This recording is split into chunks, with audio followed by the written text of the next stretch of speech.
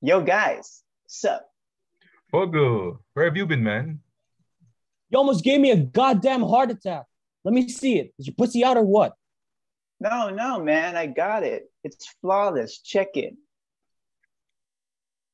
Hawaii. All right, that's good. That's hard to trace, I guess. Wait, you changed your name to McLovin? Yeah. McLovin. What kind of a stupid name is that, Fogell? What are you trying to be? An Irish R&B singer? No, they'll let you pick any name when you get down there. And you landed on McLovin. Yeah, it was between that or Muhammad. Why the fuck would it be between that and Muhammad? Why did you just pick a common name like a normal person? Muhammad's the most commonly used name on earth. Read a fucking book for once. Fogell, have you actually ever met anyone named Muhammad? Have you actually ever met anyone named McLovin? No, that's why you picked a dumb fucking name. Fuck you. Give me that.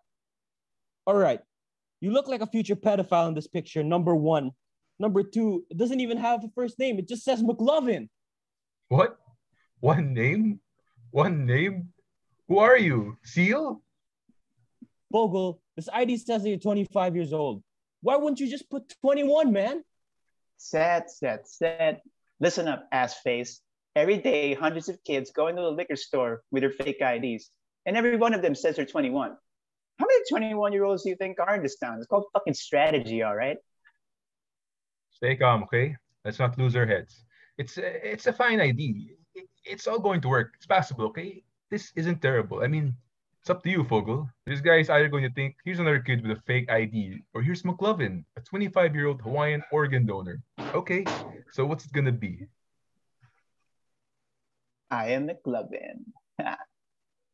No, you're not. No one's McLovin. McLovin's never existed because that's a made up fucking fairy tale name, you fuck!